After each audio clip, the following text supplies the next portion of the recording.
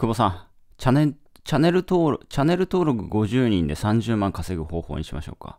まあね、去年僕、久しぶりにコンサル募集したんですよ。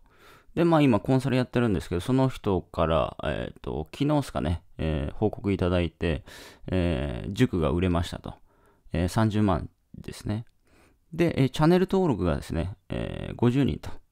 はい、で、まあ、いただいたのが、やはり少ない集客でもやることをやっていれば問題ないと感じました。引き続き頑張っていきますと。やはり少ない集客でもやることをやっていれば問題ないと感じましたと。まあだからこれは実際にその体験してみないとわかんないですよね。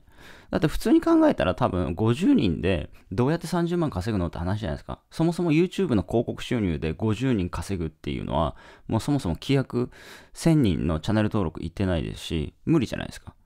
で、さらに言うと、チャンネル登録50人程度で、いや、本当に売れてんのかなって思うのが当たり前だと思いますし、だからまあ、実際体験しないとやっぱこれはね、わかんないんですよ。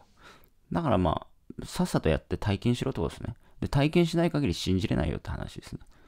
はい。でも逆に言うと、体験して結果出れば、あ、こうやれば、本当にこういう風にやれば結果出るんだってわかるんで、またできやすいじゃないですか。やりやすいじゃないですか。前に進みやすいじゃないですか。僕なんかガンガンできる理由って、これでも結果ずっと出し続けてるんで、あ、これでも出せるんだっていうのは分かってるんですよね、僕は。でも多くの人は分かってないですよね。やらないから。いってらっしゃい。